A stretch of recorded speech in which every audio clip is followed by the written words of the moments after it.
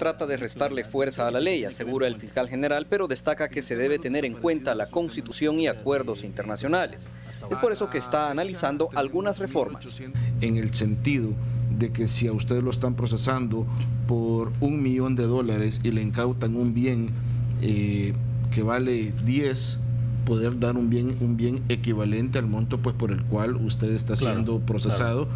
Parte del análisis que se está realizando busca que la acción de la Fiscalía sea proporcional para que el valor de lo incautado no exceda el monto generado de forma ilícita.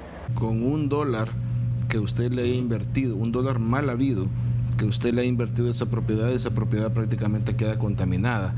Eh, es, una, es una teoría que se está aplicando y eso es lo que ha sucedido con el caso del expresidente Flores y con otros casos, hay que decirlo. El jefe del Ministerio Público destaca que toda ley puede mejorarse, principalmente para evitar abusos de cualquier funcionario. El Salvador debe de tener una ley de extinción de dominio que sea fuerte, pero la mejor ley es la que es más clara y no da lugar a discreción tanto en la aplicación por parte de la autoridad como la Fiscalía General y también de los jueces de la República. El fiscal general asegura que no tiene planes de presentar una propuesta de reforma en el corto plazo, pero está recabando insumos en foros internacionales sobre esta temática. Para Teleprensa Canal 33, Luis Alvarado.